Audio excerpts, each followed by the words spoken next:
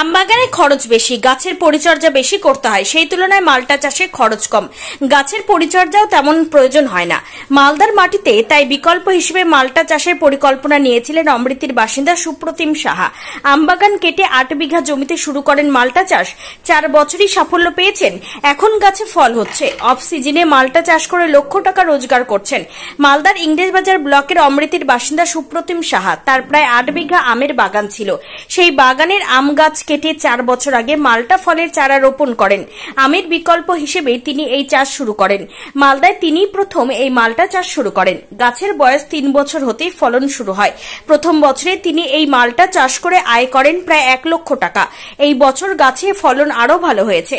ফলে ভরেছে গাছ। সেপ্টেম্বর মাস থেকে ফল পাকতে শুরু করে। মৌসুম্বি প্রজাতির এই ফল মিষ্টি, তাই বাজারে চাহিদাও রয়েছে। স্থানীয় বাজারে বিক্রি হয়। বাজারে চাহিদা থাকা লাভবান হচ্ছে, এমনকি আমের বিকল্প হিসেবে মালটা চাষ করে তিনি এখন সফল। মালটা গাছের পরিচর্যাও খুব একটা বেশি প্রয়োজন নেই। শুধুমাত্র বছরে কয়েকবার জল সেচ দিতে হয়। এছাড়াও কোনো রাসায়নিক সার বা অন্য কিছুর প্রয়োজন হয় না। তাই এই চাষে খরচ খুব কম। অল্প খরচে বেশি লাভবান হতে মালদার যে কোনো কৃষক এই মালটা চাষ বিকল্প হিসেবে শুরু করতে পারেন। কারণ মালদার মাটিতেও মালটা চাষ যে সম্ভব তা প্রমাণ করে দিয়েছেন অমৃতির বাসিন্দা সুপ্রতিম সাহা। না, এটা লাভজনক ব্যবসা একটা। এটা আমের একটা পরিবর্তী ফসল হিসাবে আমের থেকে অনেক খরচ কম এই ফসলে। আর এটা একটা অফ সিজন টাইপের মানে এটা এই এই ফসলটা ঠিক রেডি হয়ে যায় আপনার সেপ্টেম্বর মাসের পনেরো তারিখ থেকে। সেই সময়টা একটা বাজারে পুজোর একটা সিজন থাকে, সেই দামটা ভালো পাওয়া যায়। মোটামুটি আমার এখানে গত বছর আমি দুশো ক্যারেট ইয়ে ইয়ে দিয়েছিলাম, তার থেকে আমার প্রায় দু লক্ষ টাকা আয় হয়েছিল। দুই লক্ষ টাকা থেকে আপনার খরচ বাদ দিলে মোটামুটি আমার নিট এক লক্ষ টাকার মতো আয় হয়েছে। এক লক্ষ এক লক্ষ কুড়ি হাজার টাকার মতো আয় যা খরচ এখানকার তাতে হচ্ছে আপনার জল এবং লেবার এই দুটো হচ্ছে মেন খরচ খরচ এখানে। বিষ বলতে খুব কম খুব কম পরিমাণে আপনার ফাঙ্গিসাইড কিংবা ইনসেকটিসাইড লাগে।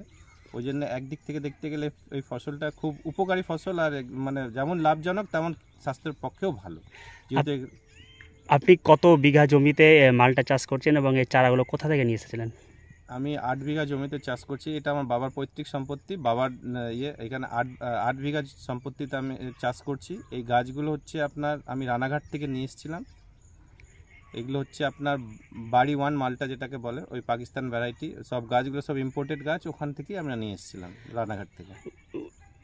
কতদিন আগে লাগিয়েছিলেন এবং কত বছর পর? বছর আগে লাগিয়েছিলাম তারপরে গত বছর থেকে তিন বছরের মাথায় ফল দিয়েছিল। গত বছর তারপরে এই বছর। গাছ চা মানে গাছটা যখন প্রথম চারা যখন লাগালেন তখন কীভাবে পরিচর্যা করতে হয়েছিল? প্রথমে আপনার ওই ফাল্গুন চৈত্র মাসে আমি গাছের পজিশন দেখে দেখে গর্ত করে দিয়ে কিছু জৈব সার দিয়ে ওকে গর্তগুলো করে রেখেছিলাম। তারপরে বৈশাখ মাসের দিকে একটু তাপ একটা বর্ষা হওয়ার পর তারপরে গাছগুলো চারাগুলো এনে বসালাম।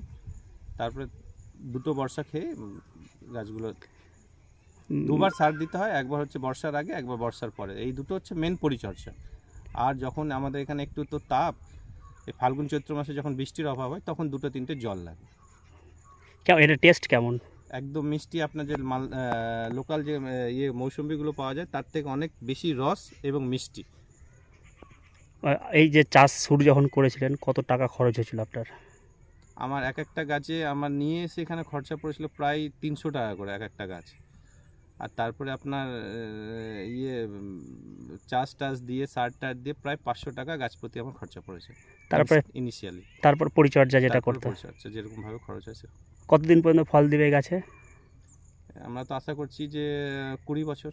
কুড়ি বছর ফল এই ব্যবসা করে কি মনে হচ্ছে যে বিকল্প চাষ হিসাবে করে সফল হ্যাঁ, আপনি? বিকল্প চাষ হতেই পারে মালদাতে। যেহেতু আমি যা হারে পেস্টিসাইড আর ফাঙ্গিসাইডের খরচ সেই তুলনায় এই ফলটাতে খুবই কম খুবই কম খরচ।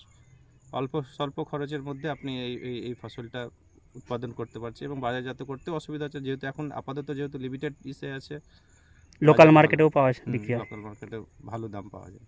আপনার নাম? আমার নাম সুপ্রতিম সাহা অমৃতি গ্রাম পঞ্চায়েত। মালদা জেলা মূলত আমের ওপর নির্ভরশীল এবং আমের ওপর এই অর্থনীতি যুক্ত। তবে আমের সঙ্গে সঙ্গে অত্যন্ত আনন্দের খবর, আজ আমাদের মালদা জেলায় ইতিমধ্যে মালটা চাষ শুরু হয়েছে। মৌসুমীর আদলে যে ফল, মালটা, এই মালটা ভিটামিন সিতে ভরপুর সমৃদ্ধ এবং এই মালটা ফল আমাদের বাজারে যথেষ্ট সবসময় সারা বছর চাহিদা থাকে। তিন বছর চার বছরের মধ্যে ফলন হয়।